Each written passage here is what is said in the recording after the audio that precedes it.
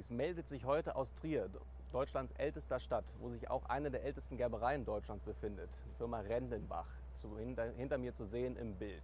Gegründet 1871 von Johann Rendenbach Junior, heute immer noch ein Familienunternehmen, äh, geführt in der vierten Generation von Hans Rendenbach, der uns heute hier eingeladen hat und wo wir uns heute einmal die Gerberei zeigen lassen. Herr Rendenbach, vielen Dank, dass wir hier sein dürfen. Herr Börner, herzlich willkommen. Ich freue mich riesig, dass Sie da sind. Hinter mir sehen wir die alten Gebäude der Lederfabrik Rendenbach, gegründet 1871 von meinem Urgroßvater. Und die Gebäude stehen teilweise immer noch so, wie er sie gebaut hat, sind allerdings am Ende des Zweiten Weltkriegs einmal zerstört worden. Mein Vater hat aber dann danach mit den Trümmersteinen wieder diese Gebäude aufgebaut. Wir blicken hier vorwiegend auf das Lederlager, die Trockenspeicher, das, äh, die Wasserwerkstatt und das Häutelager. Dahinter befindet sich dann die eigentliche Gerberei und auf der anderen Straßenseite heute die Stanzerei und die Konfektionierung. Wir freuen uns, dass Sie hier sind und werden jetzt einmal entsprechend des Gangs der Rohware die Fabrik besuchen. Auf geht's! Im Häutelager beginnt in jeder Gerberei die Arbeit für die Techniker. Und hier ist es ganz, ganz wichtig, zunächst einmal zu wissen, welche Rohware muss man überhaupt einkaufen, um ein entsprechendes Produkt gerben zu können. Das heißt, wenn man von der Qualität rennbar spricht, dann hat das in erster Linie zwei Ursachen, warum man so ein Produkt erzeugen kann. Punkt Nummer eins ist, ich brauche die entsprechende Basis dafür zum Gerben, das ist die Haut. Und ich brauche ein entsprechendes Gerbverfahren, um diese Haut dann so zu veredeln, dass die Qualität, die wir wünschen, dabei rauskommt. Der Herr Belker hat jetzt die Aufgabe, mittels der Maschine das Unterhautbindegewebe, das ist diese appetitliche Substanz, die Sie hier sehen, die also die Haut mit dem Körper des Tieres verbindet. Dieses Unterhautbindegewebe hier, diese Substanz muss runter. Und dafür hat diese Maschine einen Messerzylinder, der 2000 Umdrehungen pro Minute macht und das wegrasiert. Die Schwierigkeit ist, und deswegen brauchen die Mitarbeiter sehr viel Erfahrung und auch Geduld, die Schwierigkeit ist, wenn er zu wenig wegnimmt, haben wir zu viel Fleisch auf der Haut. Nimmt er zu viel weg, macht er die Haut kaputt. Deswegen kann er die Maschine verschieden einstellen in ihrer Intensität und die Erfahrung, die er hat, führt dazu, dass er genau weiß, wie er sie einzustellen hat und wie er damit zu arbeiten hat. Das schauen wir uns jetzt mal an. Okay.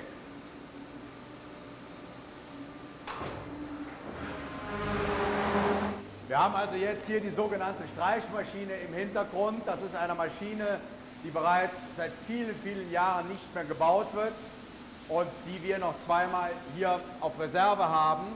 Und zwar machen wir das deswegen, weil wir ganz bewusst von einer chemischen Bearbeitung der Haut an dieser Stelle absehen.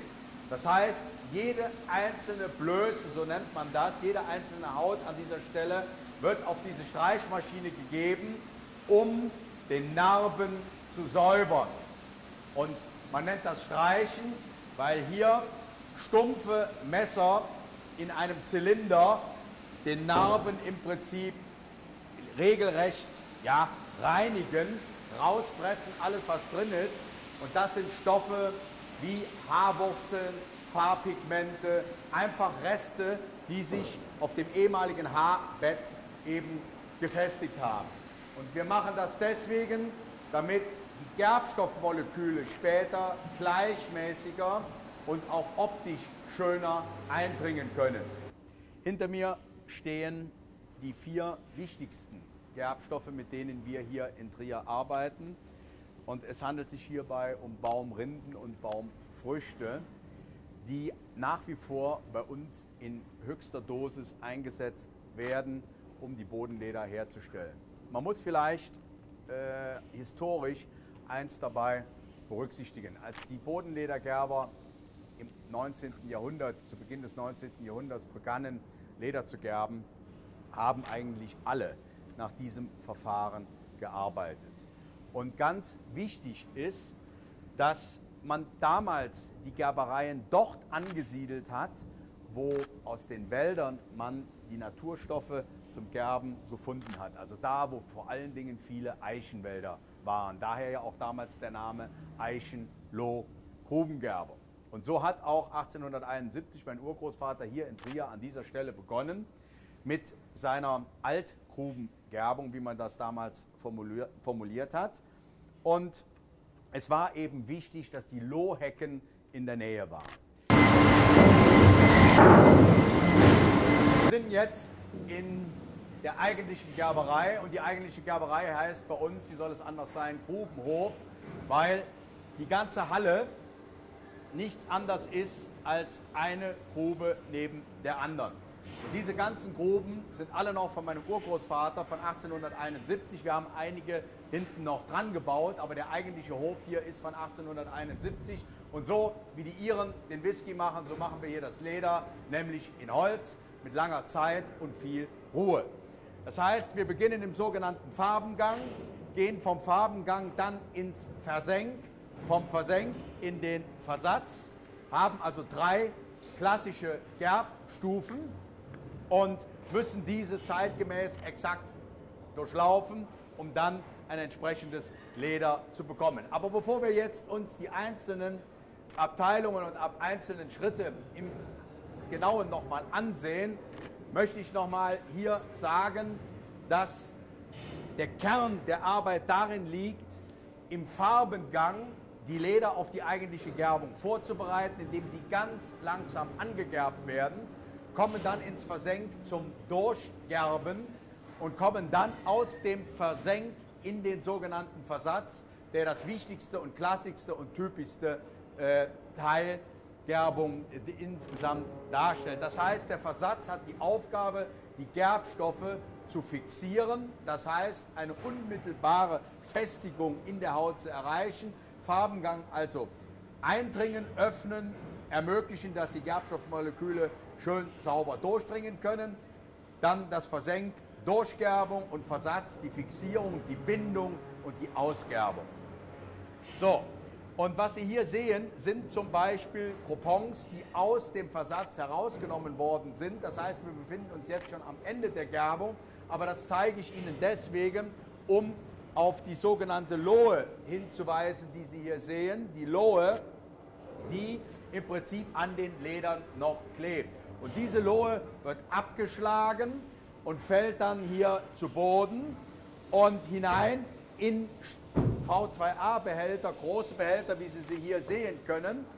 Und diese Lohe wird Landschaftsgärtnereien angeboten und die kompostieren das zu Humus. Und das ist ein ganz entscheidender Punkt. Nach einem Jahr sieht die Lohe ungefähr so aus. Das heißt, wir haben hier schwarze Erde, die sehr, sehr wertvoll ist, sehr reich voller Energie.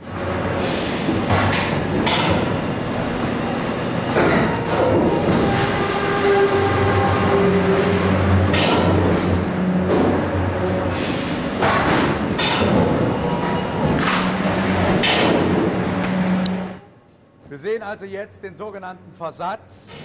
Die Mitarbeiter gehen mit der Leiter in die Gruben. Die Gruben sind ca. 3, 4 Meter tief, sind komplett aus Eichenholz von 1871 von meinem Urgroßvater und legen jetzt die Coupons und Hälse in die Grube, immer abwechselnd eine Schicht Hautmaterial, dann wieder eine Schicht Lohe, dann wieder Hautmaterial, immer abwechselnd und arbeiten sich von unten nach oben diese drei, vier Meter hoch.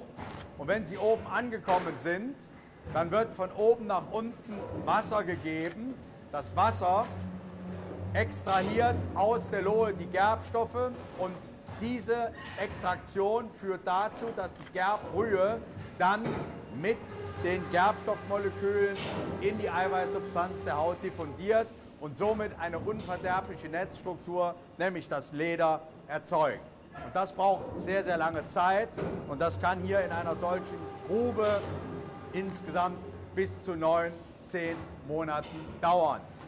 Wenn die Leder jetzt fertig gegerbt sind und der Betriebsleiter am Computer sieht, welche Nummer reif ist und welche Leder benötigt werden, dann ordnet er an, dass die und die Gruben gezogen werden und das funktioniert in dieser Form, dass mechanisch mit einer Krananlage die Gruben mit drei Säcken im Prinzip entarbeitet wird. Das heißt, Wir arbeiten drei dieser Netze pro Grube ein und arbeiten diese dann mit einem Kran wieder aus. Früher wurde das alles noch mit der Hand gemacht, aber heute können wir das deutlich vereinfachen, sowohl kräftemäßig als auch zeitmäßig durch diese Spezialnetze.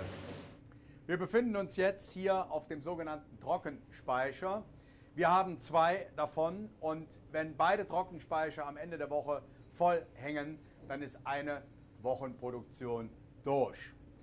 Der Trockenspeicher hat nun die Aufgabe, die produzierten Leder nach der Zurichtung eben zunächst einmal einzuölen. Das heißt, die Mitarbeiter mit der Hand, Lappen und Schwamm drücken dieses pflanzliche Lederöl, Lederfett in die Faserstruktur der Haut hinein. Und das führt dazu, dass die sogenannte Narbenelastizität steigt und dass die Biegsamkeit der Leder mehr ermöglicht wird. Gleichzeitig werden restliche, noch nicht ganz fixierte Gerbstoffe gebunden. Wenn die Leder nun getrocknet sind und angefeuchtet worden sind als Vorstufe zum Walzen, werden sie gewalzen, was wir uns jetzt anschauen.